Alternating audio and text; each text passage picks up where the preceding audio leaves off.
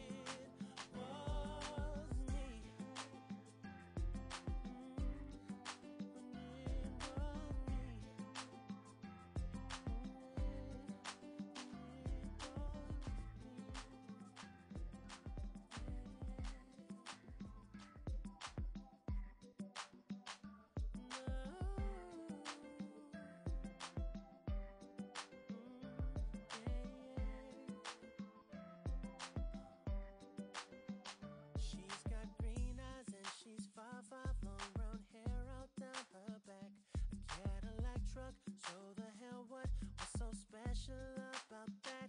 She used to model, she done some acting, so she weighs a buck oh five. And I guess that she's alright if perfection's what